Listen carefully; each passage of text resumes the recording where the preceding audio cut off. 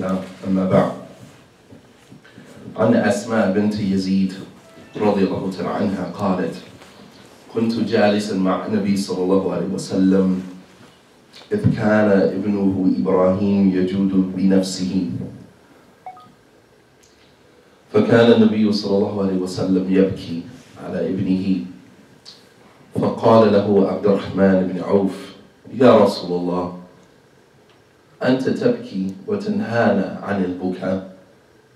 فقال النبي صلى الله عليه وسلم يا عبد يا أبا عبد يا عبد الرحمن إنها رحمة. إنها رحمة. قال إن العين تدمع والقلب يحزن واللسان لا تقول إلا ما يرضي الله. قال يا إبراهيم إنا بفراقك لمحزونون. Asma bint Yazid anha. She said, I was sitting with the Prophet wasallam while he was at the bedside of his son Ibrahim while he was taking his last breaths of life. Ibrahim, his son, was only 16 months old at this time. Just imagine a man losing his child at 16 months old. Barely had an opportunity to play with the child. And this opportunity was for the Ummah to see the human side of this great man that we see as a soldier, as this messenger of Allah, as this teacher, educator, but we rarely get a chance to see a human side of the Prophet ﷺ. And he wasn't afraid to allow that side to be exposed in front of his ummah, because that's part of teaching the ummah as well. That we have a soul, we have a dual nature. We have a human side to us, and then we have that side that tries to image or mask that human side. We spend a lot of time, you know, investing in what we would like people to believe we are, and very little time in who we know we are. And that's a problem. That's a problem because we spend a lot of time being, you know, what we think people should see instead of who we really are as individuals. And it's okay to be human as Muslims. It's okay to cry. It's okay to hurt. It's okay to feel emotion. It's okay. I don't know how many marriages I've counseled and the couples don't hold hands. They don't kiss one another. They don't tell one another they love each other.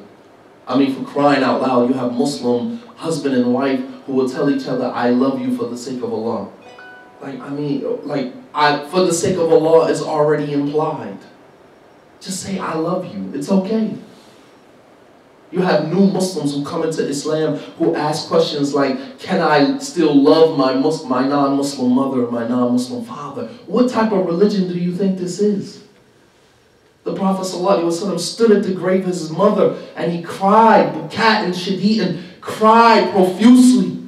And the Sahaba asked him, why are you crying? He said, because I know my mother is going to be in the hellfire. His mother died as a mushrik. Who can tell you not to love your Muslim, your non-Muslim parents, your non-Muslim relatives? Allah subhanahu wa ta'ala told the Prophet sallallahu alayhi wa sallam, You cannot guide whom you love. And that ayat was in reference to Abu Talib, who was a non-Muslim, who was a mushrik, and died on shirk. How could you ask, is it okay for me to love my non-Muslim parents? What type of religion do you believe this is? That we just function robotically, we don't have feelings? The Prophet ﷺ began to cry over his son. Ibrahim, 16 months old, taking his last breaths of life. Can you imagine staring at your son in your hands and he's taking his last breaths of life? And the Prophet ﷺ, his eyes begin to water with tears. I saw one of his companions sitting with him, Abdurrahman ibn Auf, one of the ten that was promised paradise. He looked at the Prophet ﷺ and he said, Ya Rasulullah, أَأَنْتَ تَبْكِي وَتَنْهَانَ عَنِ الْبُكَاءِ He said, O Messenger of Allah, are you crying when you prevent us from crying? Are, are you crying? Subhanallah.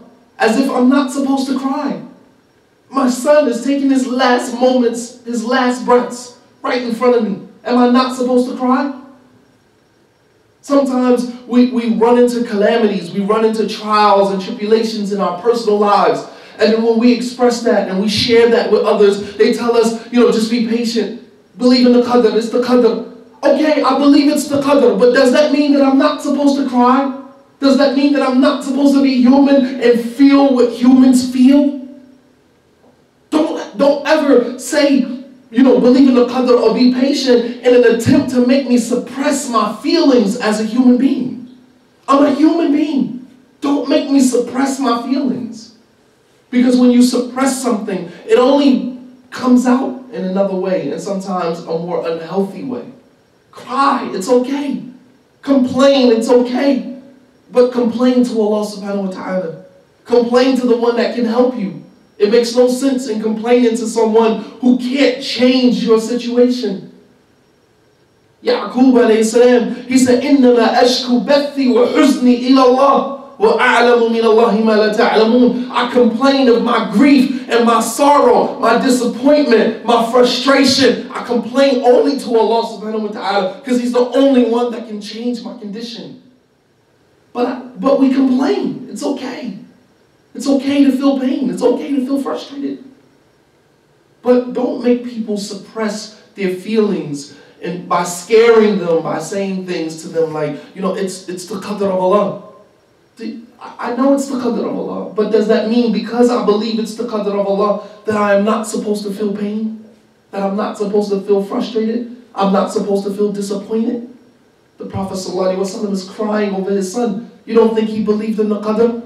You don't believe he understood the power of Allah subhanahu wa ta'ala? He's the same one who told this ummah, لِلَّهِ مَا أَعْطَى وَلِلَّهِ مَا أَخَذ To Allah belongs what He gives, and to Allah belongs what He takes. If He gives you a son, it's still His. If He takes the son away from you, it's still His.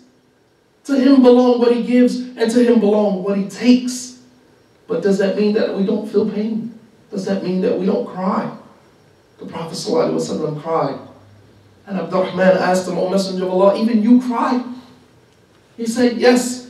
He said, Abdurrahman, it is rahmah. It is out of mercy that I cry. It's out of mercy from Allah subhanahu wa ta'ala that I cry. Think about the society that we live in. We hear and we see murder in droves on a daily basis. And many of us, we feel nothing because it's so normal. Just imagine a situation where you see death, you hear about death, and you feel nothing. The rahmah of Allah subhanahu wa ta'ala is slowly being removed from our hearts.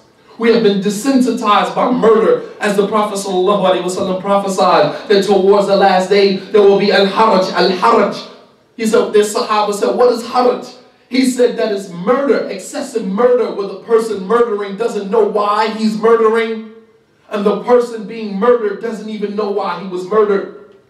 This is a time that we live in where we see murder, murder, murder. Our kids hear it on the music that they listen to. We see it in the movies that we watch.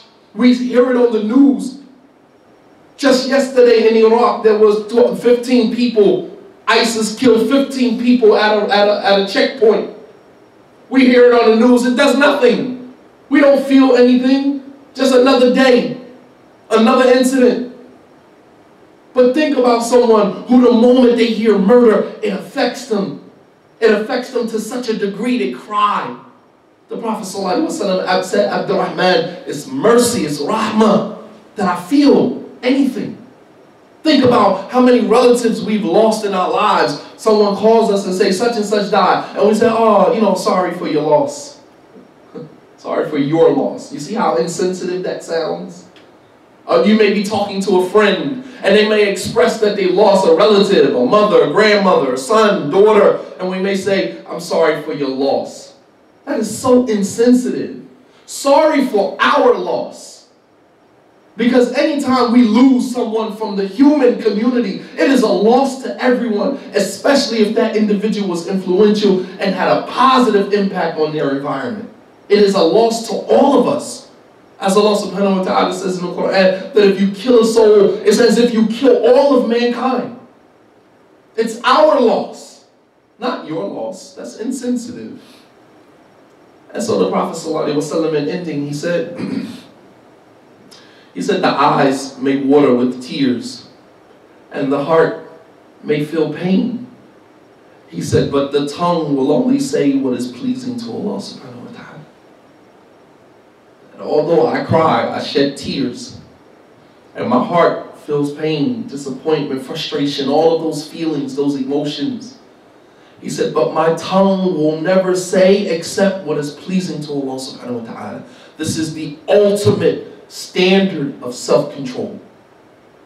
Self-control. When you control yourself, you control your surroundings. You let you let yourself, you have control. The first victory, as this an old saying, the first victory that great men have ever won was the victory over themselves. You cannot be a leader if you don't have self-control. You cannot be a leader over anything or anyone if you don't have self-discipline. And self-discipline starts with controlling your emotions, controlling your actions, and controlling how you interact with other people. And this is what our religion teaches us. And Allah subhanahu wa ta'ala knows best. وصلى الله على نبينا محمد وعلى آله وصحبه وسلم تسليما كثيرا وآخر دعوانا أن الحمد لله رب العالمين والسلام عليكم ورحمة الله وبركاته